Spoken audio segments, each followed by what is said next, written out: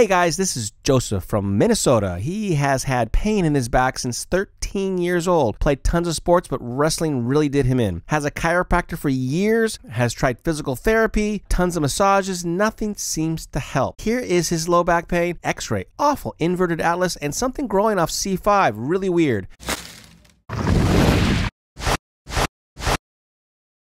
If I'm doing any physical activity and it can be the smallest thing that gets kinked, uh, I am basically taken out of commission for days. Um, it's hard to walk, hard to sit, hard to do a lot of activity. I can't work out. I started when I was playing sports. I played a lot of sports. He's been going to a chiropractor for years. Uh, he's done a ton of physical therapy. How much pain is your back there, sir?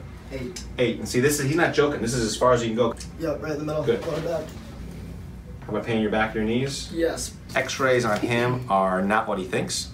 Uh, he has an inverted atlas, which is worse than normal. Only about three to five percent of people come in with that. His C5 or C6, I can't remember. I didn't really mark it yet, but something's wrong. It looked like he almost broke his neck because there's a huge osteophyte hanging off that thing, and the thing is bigger than normal. So there's something seriously wrong. X-rays reveal 13 millimeter imbalance and 22 millimeter lower right shoulder, 15 degree scoliosis, 7 millimeter short right leg. Here's the bad one: inverted atlas, reverse curve, and a weird growth off a C5. Here is a close up of that C5 fracture or a growth. We have early arthritis, way too early for a 20 year old, and constipation. What was that like? It was pretty weird. I I've never had that done before. a 10 minute consultation with him. Um, I could do that.